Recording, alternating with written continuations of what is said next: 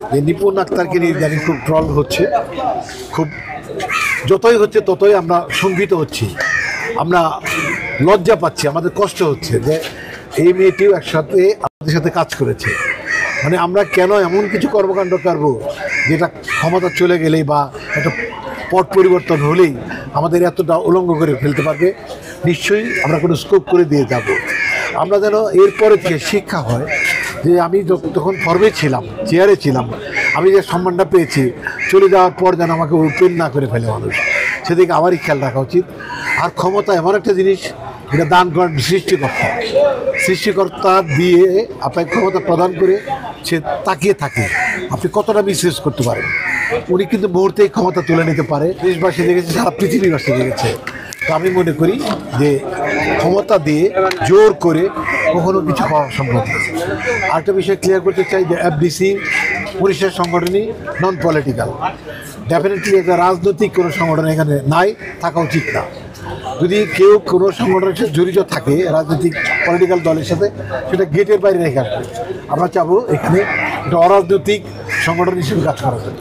আমাদের মাথা নিচু হয়ে গেছে জাতির কাছে। আমরা খুবই ক্ষুণ্ণ হয়েছি বিধায় সর্বোচ্চ নিয়মে যা শাস্তি তার দরকার, সেটা করব, আজকে আমরা সিদ্ধান্ত নেব।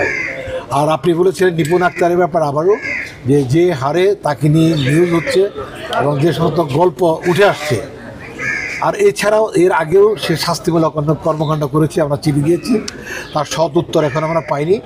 আমাদের আমি এখন অ্যাক্টিং প্রেসিডেন্ট বাট আপনাদের জানিয়ে দেবো কী শাস্তি আমরা দিচ্ছি তবে শাস্তি will be held no doubt এত শাস্তি থেকে কোনোভাবেই পানিশমেন্ট থেকে মুক্তি পেতে পারে না পাবে ভাইয়া যে তার আসলে সদস্যরা থাকছে না? এটা তো মানে নিয়মে পড়ে তো অবশ্যই থাকবে না। থাকার মতো কোনো কাজ তৈরি করছেন না। আচ্ছা। আর আমরা মানে যা যা করছেন একটা পর একটা। এটা এটা মানে মিনিমাম পেনাল্টি এটা। আরও বড় কোনো পেনাল্টি হইতে পারে। বর্ষা চৌধুরী পেজ থেকে একটা ভিডিও খুব ভাইরাল হয়েছে রাসেল মিয়া এবং বর্ষা চৌধুরীর কথোপকথন আপনি তো তাদের বিয়ে দিয়েছিলেন এবং তাদেরকে নিয়ে বিভিন্ন সময়ে বসেছেন, তাদের সংসারটা ফাটল ধরেছে এবং হারবিককে আত্মহত্যার বিষয়টাও শুনেছি, বর্তমান কি অবস্থা, তাদের জন্য কি থাকবে, ভেঙে যাচ্ছে কিনা? এই রাসেল আমার শিল্পী সমিতির একজন মেম্বার আর বর্ষা চৌধুরী আমাদের খুব ঘনিষ্ঠ। তাদের বিভিন্ন সময় বিভিন্ন রকম পোস্ট দেখে আমরা আতঙ্কিত হই, আমিও অবাক হই। কিন্তু লাস্ট পোস্ট যেটা দেখেছি, নিবিড় আমাকে পাঠিয়েছিল। সেটা দেখা গেল যে তারা তার আইডি নাকি হ্যাক হয়েছে। হ্যাক হওয়ার পরে কেউ একজন এআই করে এসব করেছে। আসলে তারা ভালো হচ্ছে। আসলে ভয়েস এখন এআই ভয়েস তো এআই এআই যে কি করা যায় তা বুঝতেই পারছেন যে কি কি ফুটেজ দেখাচ্ছে আপনাদের দেশের বড় বড় নেত্রীদের নিয়ে নেতাদের নিয়ে। এআই এবং বাস্তবতার মধ্যে কোনো পার্থক্য আমি খুঁজে পাচ্ছি না। আপনি তাহলে বলতে চাচ্ছেন যে এটা একটা বানোয়াট ছিল এটা সম্পূর্ণটাই মিথ্যে? আমি তাও বলতে চাচ্ছি না কারণ এআই এবং বাস্তবতা দুইটাই কিন্তু সমান।